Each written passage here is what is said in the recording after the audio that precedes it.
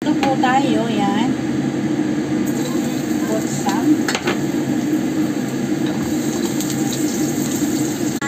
Now, we will put now.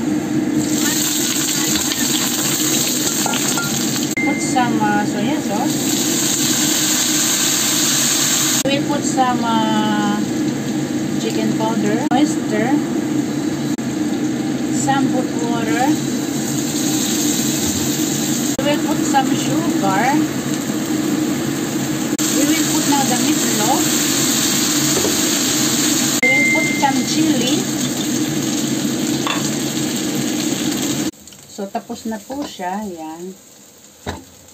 This is it. Ito po ang ating baon for tomorrow. Uh, meatloaf po and patatas or potato. Thank you so much for watching and please don't forget to subscribe, like, and share. Please hit the bell below so that you are updated to all my videos.